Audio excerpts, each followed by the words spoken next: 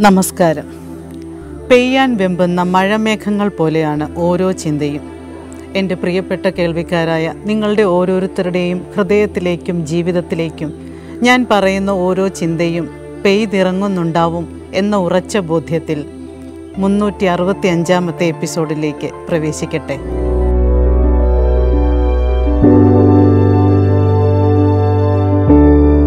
ഹിറ്റ്ലറുടെ concentration ക്യാമ്പിൽ നരകയാതന അനുഭവിച്ച ഒരു തടവുകാരൻ. പിന്നീട് അദ്ദേഹത്തിന്റെ ആത്മകഥ കുറിക്കുകയുണ്ടായി. അതിലൊരു അനുഭവം ഇപ്രകാരം പറയുന്നു. എന്നും ക്രൂര മർദ്ദനങ്ങളായിരുന്നു അയാൾക്ക് ആ ക്യാമ്പിൽ നേരിടേണ്ടി വന്നത്. ഒരു നേരം മാത്രം ഭക്ഷണം. ആ ഭക്ഷണം എന്ന് പറയുന്നത് സൂപ്പ് വെള്ളമേറെ ചേർത്ത സൂപ്പ്. ഇറച്ചി ചേർത്തിട്ടുണ്ട് എന്നാണ് സങ്കല്പം. പക്ഷേ ഒരിക്കൽ പോലും അയാൾക്ക് അതിൽ നിന്നൊരു ഇറച്ചി കഷ്ണം കിട്ടിയിരുന്നില്ല. വിശന്ന് പൊരിഞ്ഞിരിക്കുമ്പോൾ കിട്ടുന്ന ആ വെള്ളം പോലെയുള്ള സൂപ്പിൽ അദ്ദേഹം എപ്പോഴും തന്നെ കൈയിട്ട് ഇളക്കി നോക്കുമായിരുന്നു ഒരു ചെറിയ കഷ്ണമെങ്കിലും ഇറച്ചി കിട്ടുന്നുണ്ടോ എന്ന്.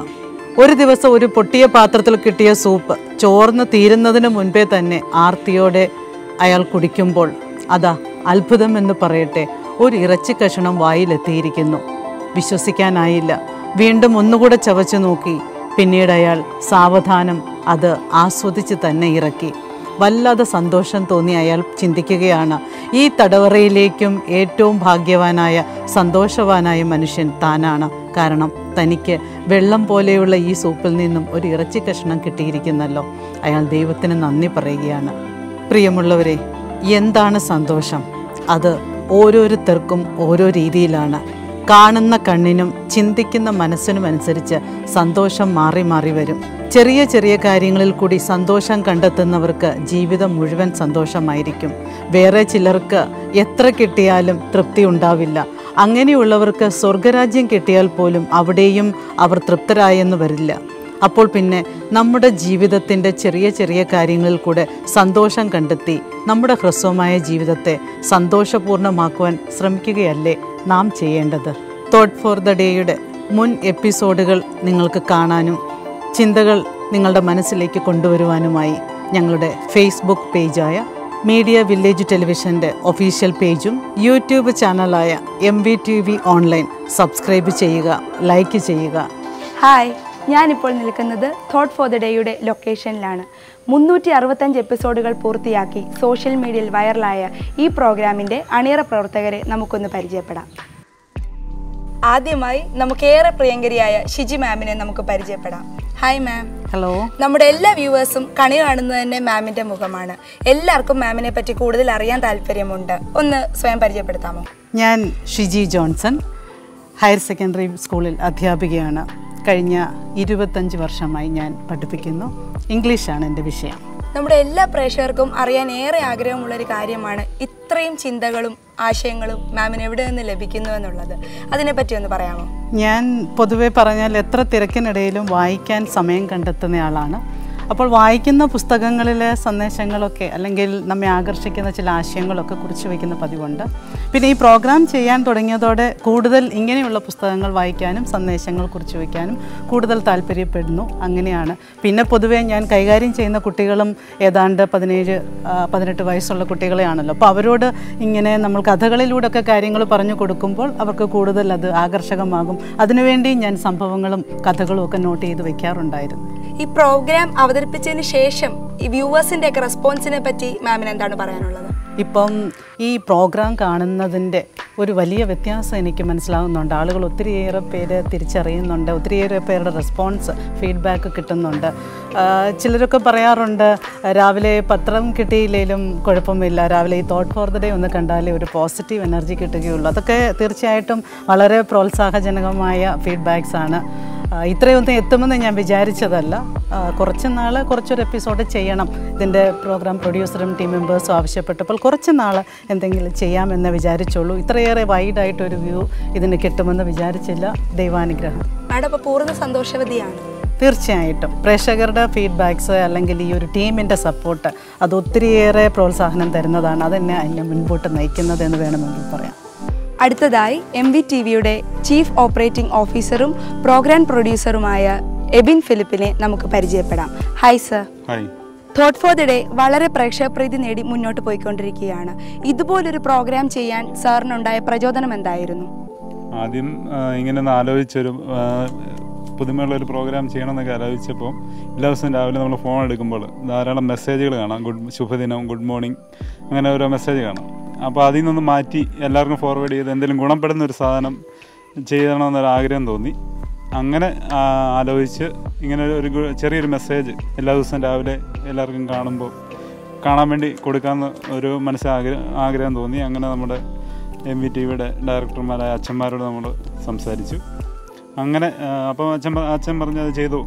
അതിന് പറ്റുന്ന ഒരാളെ ഇങ്ങനെ അന്വേഷിച്ചപ്പം ഷിജി മിസ്സിനെ ആദ്യം മനസ്സിൽ വന്നു. അങ്ങനെ മിസ്സ് ആ, എന്നാളൊന്ന് ട്രൈ ചെയ്ത് നോക്കാമെന്ന് പറഞ്ഞു. ആദ്യം ഞാനും ജിതിൻ തരകൻ ജെറിൻ ജിയോ. ഞങ്ങൾ മൂന്ന് പേരോട് ഇവിടെ വന്ന് ആദ്യത്തെ എപ്പിസോഡ് ഒരു അഞ്ച് എപ്പിസോഡ് മിസ് ഒന്ന് ട്രൈ ചെയ്യാന്നൊക്കെ പറഞ്ഞ് ഷൂട്ട് ചെയ്തു.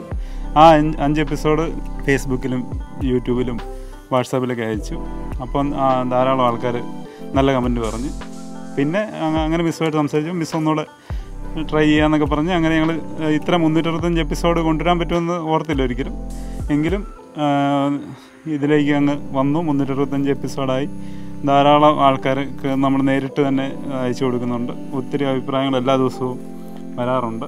പിന്നെ ആ പ്രളയത്തിന്റെ ഒരു അഞ്ച് ദിവസം മാത്രം നമുക്കിത് കൊടുത്തില്ല. നമ്മുടെ ഉണ്ടായിരുന്നു. കൊടുക്കാനുള്ള എപ്പിസോഡ് നമ്മൾ ഷൂട്ട് ചെയ്ത് വെച്ചിരുന്നു. എങ്കിലും അങ്ങനെ ഒരു സിറ്റുവേഷൻ വന്നപ്പോൾ മാത്രം അഞ്ച് ദിവസത്തേക്ക് മാത്രമേ ഇത് മുടക്കിയിട്ടുള്ളൂ. അപ്പോൾ അങ്ങനെ മുന്നൂറ്ററുപത്തഞ്ച് എപ്പിസോഡ് വരെ എത്തി.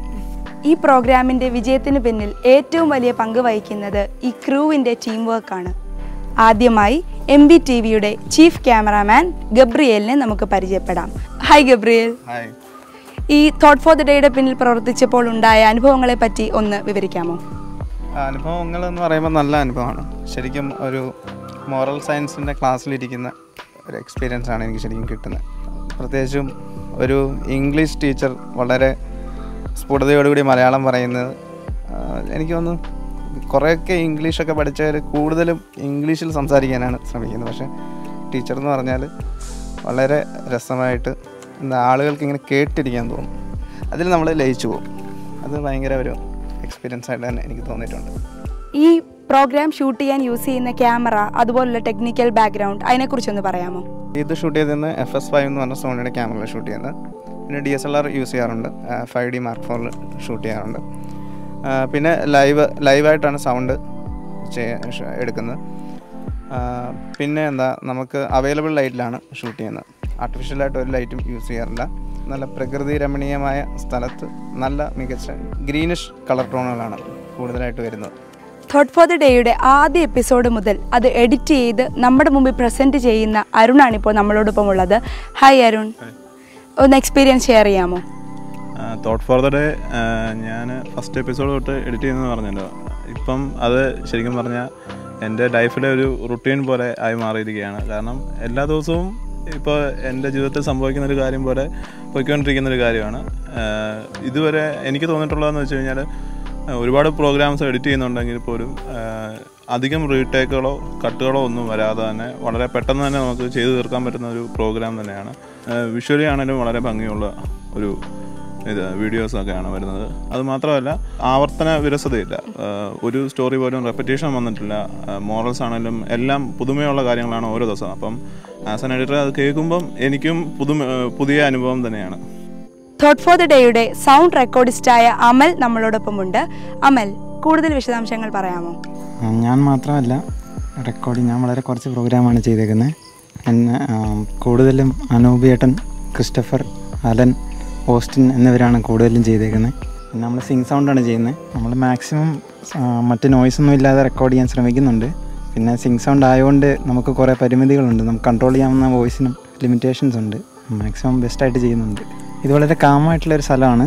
നമ്മൾ മാക്സിമം ഇവിടെ നോയ്സ് ഇല്ലാതെയാണ് റെക്കോർഡ് ചെയ്യുന്നത്. പിന്നെ മാക്സിമം ഡിസ്റ്റർബൻസ് ഒക്കെ ഉണ്ടാവുകയാണെങ്കിൽ നമ്മൾ ഷൂട്ട് കട്ട് ചെയ്തിട്ട് ഡിസ്റ്റർബൻസ് മാറി കഴിയുമ്പോൾ രണ്ടാമത് ടേക്ക് തുടങ്ങും ഇവിടെ പിന്നെ ഒരുപാട് മരങ്ങളൊക്കെ ഉണ്ട്. അപ്പം പക്ഷികളുടെയും ഒക്കെ സൗണ്ട് കയറി വരാൻ ചാൻസ് ഉണ്ട് തോട്ട് ഫോർ ദ ഡേയുടെ വിജയത്തിന് പിന്നിൽ ഒരുപാട് പേരുടെ പ്രയത്നമുണ്ട്. അവരെ ഇപ്പോൾ നമുക്ക് ഉൾക്കൊള്ളിക്കാൻ സാധിച്ചിട്ടില്ല. ഇനി വരും ദിവസങ്ങളിൽ അവരെ നമുക്ക് പരിചയപ്പെടാം. Good bye